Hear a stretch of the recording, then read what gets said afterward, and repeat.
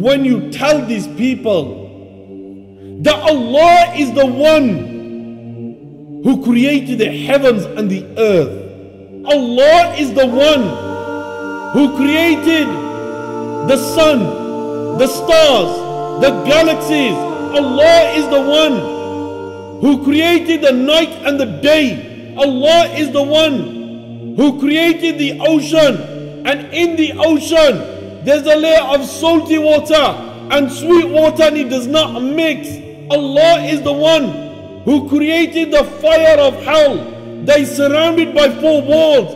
One wall is so thick, they will take a person 40 years to cover his distance, surrounded by 70,000 whips. On each whip, there's 70,000 angels, meaning 4 billion, 900 million angels dragging the fire of hell. Allah is the one who created angels that the distance between the earlobe and the neck is 70,000 years. Allah is the one who gave the miracle to Muhammad sallallahu alaihi wasallam. They parts the moon. He takes one side of the moon on one side of the mountain, the other side of the moon on the other side of the mountain. Allah is the one who gave the miracle to Musa alayhi salam. They parts the ocean. Mountains of water are raised and they make the crossing. Allah is the one who gave the miracle to Sulaiman alayhi salam that he became the ruler of the two worlds. That when he used to travel, a tornado used to come, lift his army up and take them to a different destination. Allah is the one who gave the miracle to Ibrahim alayhi salam that he slaughters a bird, he puts his head by his feet and he puts the flesh on different parts of a mountain and how he calls in the name of Allah and this flesh gathers, forms into a bird and he flies off in front of the eyes of Ibrahim alayhi salam. Allah is the one that will roll up all the heavens in his hands. He will roll up all the worlds in his hands and he will say that I am the king of all kings. Man's are not hype. Where is the hype gone for the King of the worlds, Master of the universe, Allah the Almighty? Where is the hype gone when you know that Allah Azza wa Jalla the Mighty is the one who created the seven heavens and the distance between the first and the second? It's 500 years. The second and the third is 500 years. The third and the fourth is 500 years. The fourth and the fifth is 500 years. The fifth and the sixth is 500 years. The sixth and the seventh is 500 years. And Allah Azza wa Jalla is above all. Where is the hype gone now for the King of the worlds, Master of the universe, Allah Azza wa Jalla the Mighty? Tupac is praised. Biggie is praised. Floyd Mayweather is praised. Skepta is praised. Kim Kardashian is praised. Stormzy is praised. Nicki Minaj is praised. But where is the praise gone for the King of the world? When you travel the world and you see how many people are in this world, you will realize that it's a mind boggling number. And then you understand this from the time of Adam al Islam, Nuh, Ibrahim, Ismail, Ishaq, Saleh, Lut, Yaqub, Musa, Yusha, Ilyas, Yunus, Ayub, Dawood, Yahya, Isa, Muhammad alayhi salam, right till this present day, how many nations have come, how many nations have gone, how many nations have come in this world, and how many have perished. Allahu Akbar, mind-boggling number. And then you realize something, that Allah Azza wa Jalla gave you something so unique, that He did not just give anyone else. He gave you, and this was your own identity. He did not just give you a passport, He did not just give you an ID card, He did not just give you a student visa. He gave you something so unique. Allahu Akbar. And that was the fingerprint. Allahu Akbar, Allahu Akbar. You will not find a person on the face of this earth with the same fingerprint as you. You will die with this fingerprint. You will be resurrected with this fingerprint. And inshallah, you will be in Jannah with the same fingerprint. Who is the one who gave this identity? It was the King of all kings, Allah Azza wa Jalla the Mighty. Thomas Edison, why is he praised? Because he invented the electric light bulb. Why is Tim Berners-Lee praised? Why? Because he invented the HTTP protocol for the internet. Steve Jobs, why is he praised? Benjamin Franklin, why is he praised when the king of the world, master of the universe, Allah Azza wa Jalla is the best of creators, is the best of makers, is the best of shapers. My brothers, you don't need to go far. You look in that mirror and you realize that the one who created you is the king of the worlds, master of the universe, Allah Azza wa Jalla the mighty. Then you just look at the human eye. The Lord the Almighty gave you. He gave every single person. Allahu Akbar, Allahu Akbar. So powerful is this eye that it consists of 576 megapixels. It will make your Androids and your iPhones crash. Allahu Akbar. It consists of 2 million working parts. It can detect between 25 different color images and it could differentiate between 500 shades of grey. Allahu Akbar, Allahu Akbar. Who's the creator now? Who's the maker now? Who's the shaper now? Allah is the maker. Allah is the shaper. Allah is the creator. Then you go a step further. You look at the heart that Allah Azza wa Jalla gave you. It beats 72 times a minute, 100,000 times a day, 3,600,000 times a year. Allahu Akbar. It pumps 2,000 gallons of blood through 60,000 miles of blood vessels a day.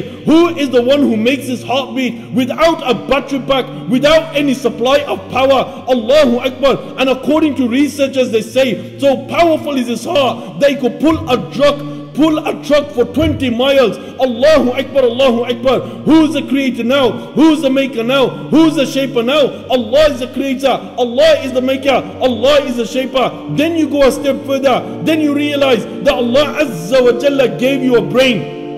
So powerful is his brain. Allahu Akbar, Allahu Akbar. According to researchers, they say that it consists he has 60, 70,000 miles of blood vessels in the brain. Allahu Akbar. Could you imagine 70, 70,000 miles of blood vessels in your brain? Allahu Akbar. Who is the one who created that brain that could store thousands, thousands and thousands of gigabytes of terabytes of memory? Allahu Akbar. Allah is the one who gave you that brain. So powerful is this brain that according to researchers they say they're so powerful they could light a bulb up Who's the creator now? Who's the maker now? Who's the shaper now? Allah is the creator. Allah is the maker. Allah is the shaper. Then why is it Thomas Edison is praised? Benjamin Franklin is praised. Kim Kardashian and Nicki Minaj is praised. Stormzy and Floyd Mayweather are praised. Allahu Akbar. But why is it that we're not praising Muhammad sallallahu alaihi wasallam, the very man that praised Allah Azza wa Jalla from the day he was born till the day he passed away. Allahu Akbar, Allahu Akbar, Allahu Akbar.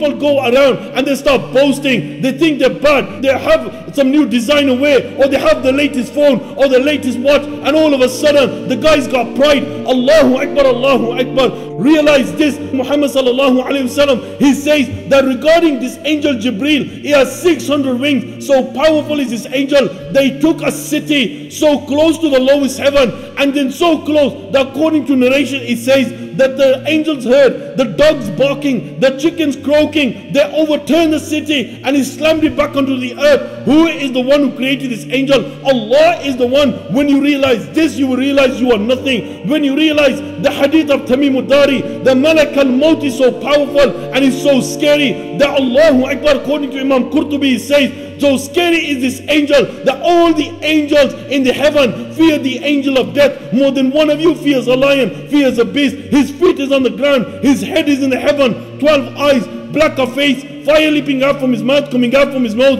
with a forked iron rod, with 500 angels behind him, with whips and embers made out of fire. Allahu Akbar. Then when you realize this, you realize you are nothing. Then you go a step further. The angels who are carrying Allah's throne, the distance between the earlobe and the neck is 70,000 years. 70,000 years. 70,000 years. When you realize this, you will realize you are nothing. You will realize that your pride will go out of the window. Allahu Akbar. This is the Almighty Allah the King of all kings, the Master of the Day of Judgment, the one, the only Allah Azza wa Jalla, the Mighty.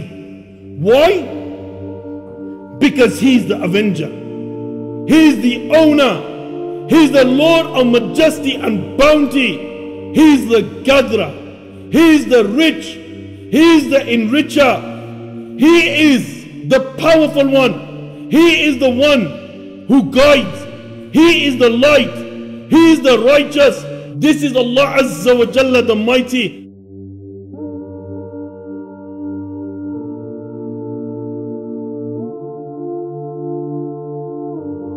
Allahu Akbar, you realize the man commits sin by night and day. Night and day, we were nothing, and Allah the Almighty guided us. We were hungry, Allah Azza wa Jalla fed us. We were unclothed, and Allah the Almighty clothed us. Then you realize that we commit sin by night and day. Allahu Akbar. Allah could have made it that we could have been those people who were from the previous nation disgraced. Why? Because every time that they committed a sin, the next morning they used to wake up, the sin used to be written on their door, and every single person used to recognize that this person committed this sin. We are the Ummah of Muhammad sallallahu alaihi wasallam. We were honored by the King of all kings, the Lord the Almighty will conceal our sins, and He who makes tawbah, Allah the Almighty will forgive their sin. He will forgive their sin, forgive their sin. Allahu Akbar. If you committed sin, the number the froth on the ocean, you return to Allah. You ask Allah for forgiveness. Allah will forgive your sin. If you committed sin that reached the peaks of some mountains,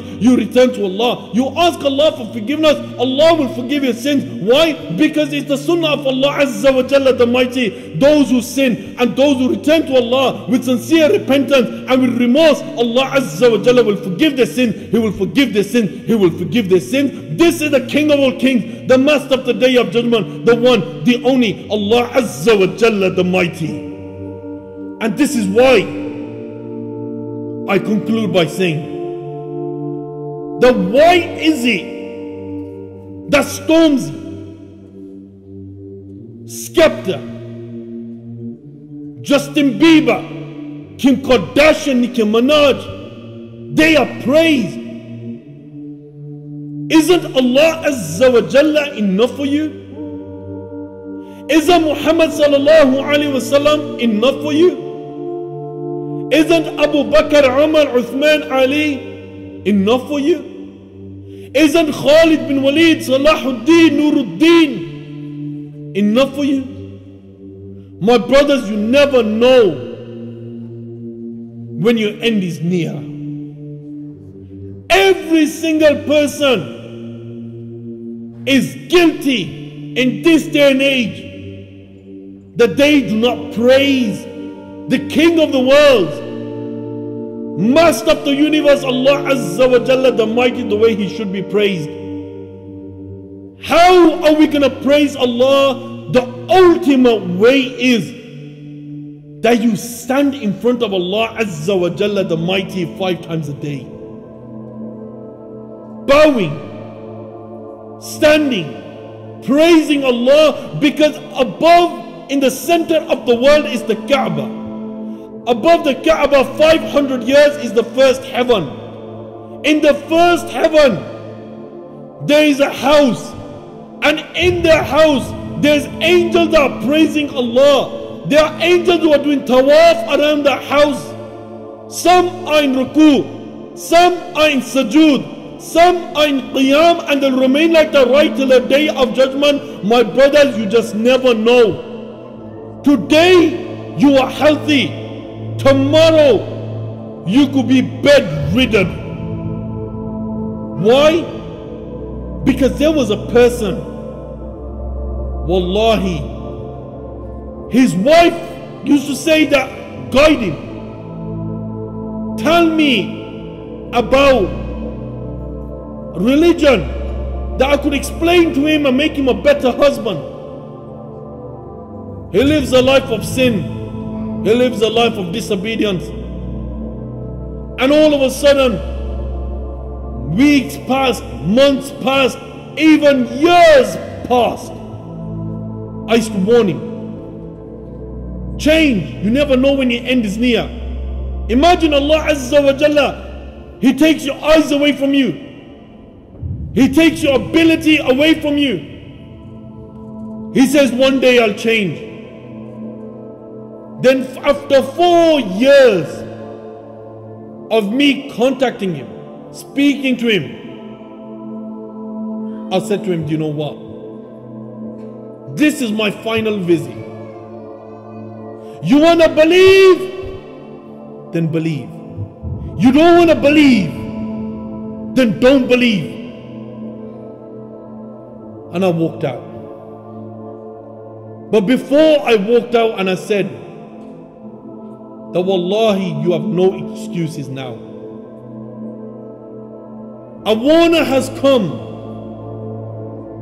and Allah sent me to tell you to change.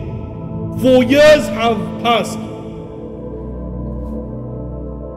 I go, could you just imagine from this day on, you lose your sight and you become bedridden. Few weeks later, I get a call from his family. They go that he has a problem. You need to come down. I went to the hospital. There he was, weighing five stones with a brain hemorrhage, paralyzed head to toe, and the only thing he could move is his eyes. And I said to him, Do you remember every single meeting we had? I used to remind you of this. That could you imagine that Allah Azza wa Jalla takes your abilities away from you? Tears flow from his eyes, but he cannot speak and he cannot move right till this present day, two and a half years have passed and he's in the hospital in the same state.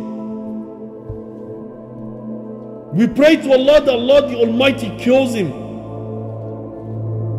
But this could happen to any one of us. Today, we are fit to work, to walk, and to talk. We could praise Allah.